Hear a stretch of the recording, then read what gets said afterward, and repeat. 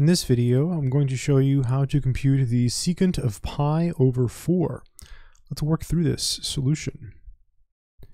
There is a super powerful formula that says that the secant of x is equal to 1 over the cosine of x. And so all we have to do now is replace x with pi over 4. So this is the secant of pi over 4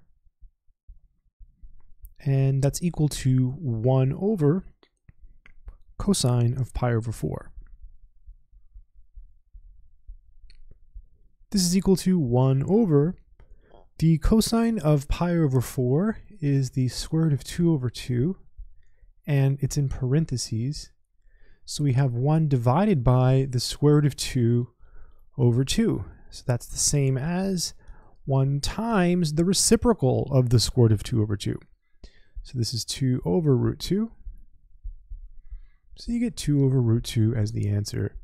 You could leave your answer like this, or you could rationalize.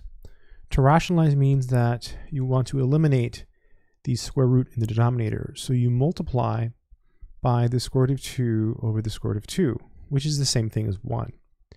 So this is equal to 2 times the square root of 2, that's in the numerator, over, and then the square root of 2 times the square root of 2, that's just 2. So look at that. So you just get square root of 2. So another correct answer would be the square root of 2. These are both the same. I hope this video has been helpful to someone out there in the world. Good luck.